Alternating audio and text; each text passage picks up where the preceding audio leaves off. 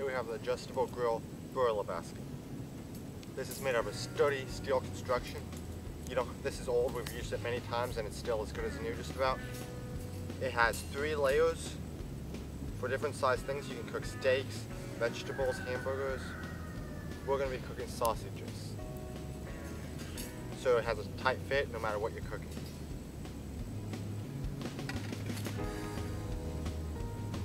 Just layer your stuff in.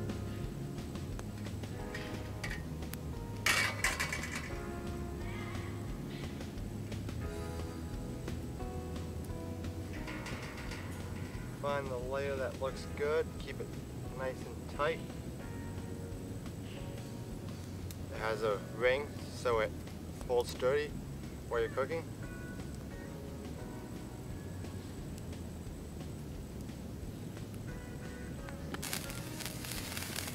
As you cook, you want to make sure and turn them to get a nice, even cook job so you don't have any raw sides. A little bit bigger than you need. Usually you can just have a nice little coal bed to cook your stuff on. They look delicious.